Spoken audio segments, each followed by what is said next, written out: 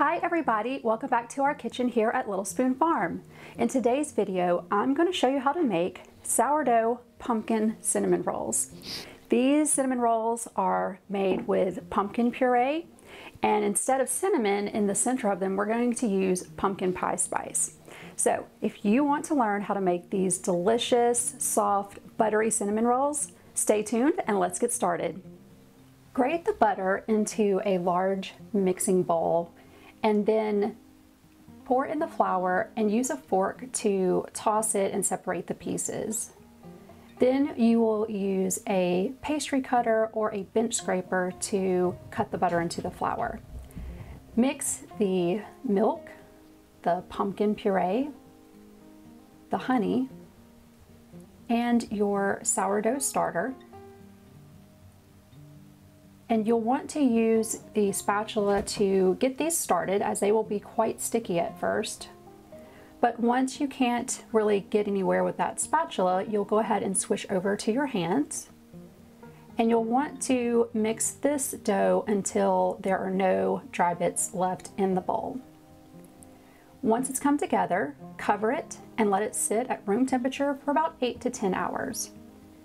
Right before you're ready to roll it out, you'll want to mix the light brown sugar and the pumpkin pie spice and set that aside. And you'll also want to go ahead and melt the butter. Now that you're ready to bake, incorporate the salt, baking powder, and baking soda into the dough with your hands. And don't be afraid to mix that in really good. This is gonna help give us a real light, fluffy cinnamon roll.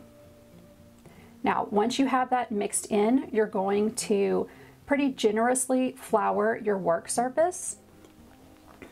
And we're gonna get this rolled out with a rolling pin. So turn that dough out onto a floured surface. Flour the top. And then you're gonna want to also flour your rolling pin. You're going to roll this out into a rectangular shape and it's going to be, I think, somewhere about a quarter inch thick is how uh, thick the dough will be. And if it sticks like that, just take a little bit more flour and flour the top of the dough or the rolling pin. I believe this uh, rectangle is about 22 inches by 10 inches wide, I think, something like that. Doesn't have to be perfect. But I'm just lifting the edges to see if it's sticking and you use this bench scraper. It's a really good tool to kind of get under and, and push flour underneath there because it kind of helps pick up the dough and keep it from sticking. So don't be afraid of using extra flour right now.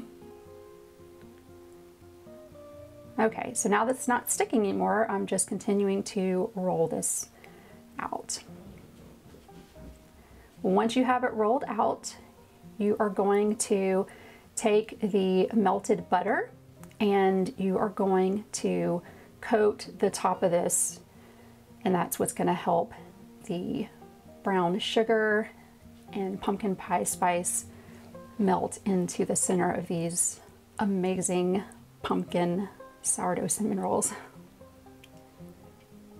So leave a, about a one inch or a half inch border around the perimeter of the dough when you're putting the butter and the uh, topping on.